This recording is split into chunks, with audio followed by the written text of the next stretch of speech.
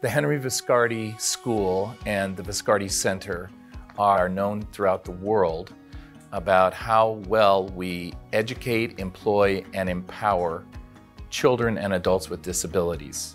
Viscardi students enter here with a, a very limited vision of what their capabilities are and what they will be. Part of our challenge here is to expand their horizons.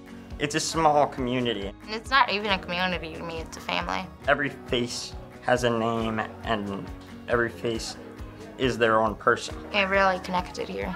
It, it's just genuine all around. Once you step through the front doors of this place, it does change your life. We decided that we were going to make something special with uh, the Viscardi Center.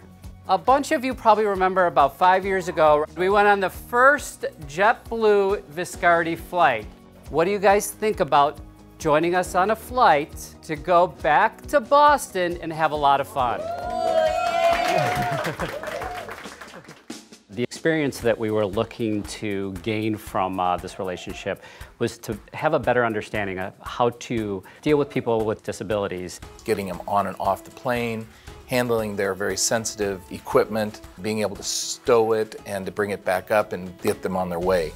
What we do is we bring these students to Boston. We have a day of fun planned for them where they join us at the New England Aquarium.